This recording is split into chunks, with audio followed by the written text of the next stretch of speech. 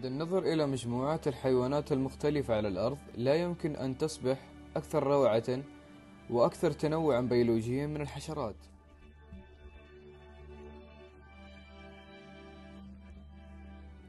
فهي أكبر مجموعة من المفصليات وأكثرها تنوعا مع أكثر من مليون نوع من الحشرات المسماة يتم وصفها وتصنيفها واكتشاف الآلاف من الأنواع الجديدة كل عام.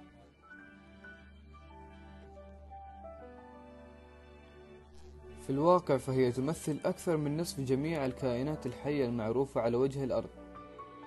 وتشمل الحشرات الشائعة مثل الخنافس والذباب والنحل والجنادب الفراشات دعونا نلقي نظرة على بعض الخصائص المميزة للحشرات. جميع الحشرات الناضجة لها غطاء خارجي صلب. يسمى الهيكل الخارجي. يوفر الهيكل الخارجي الحماية للحشرة ويمكن أن يساعد أيضا في منع فقدان الماء.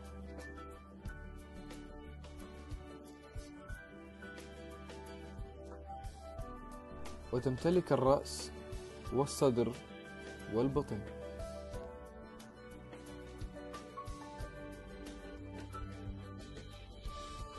الرأس عبارة عن أجزاء الفم وعينين وأجهزة الإحساس تسمى الهوائيات.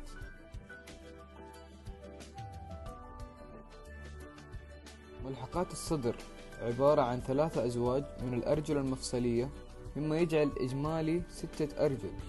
بعض الحشرات قادرة على الطيران ولديها زوج أو زوجان من الأجنحة التي تعلق أيضا.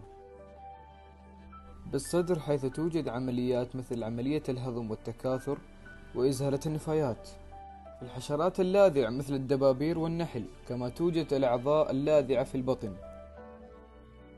في دورة حياة معظم الحشرات لا يشبه الصغار والديهم لأن الصغار ينمون وينضجون ويخضعون لتغيرات في الجسم على شكل عملية تعرف باسم التحول.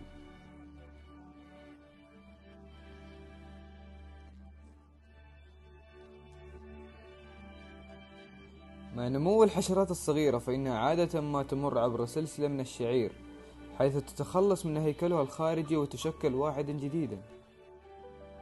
بينما تستمر الحشرات في التكاثر وتستمر دورة حياتها.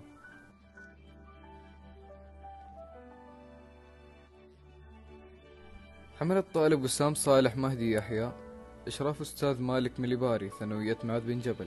إن شاء الله أنكم استفدتوا.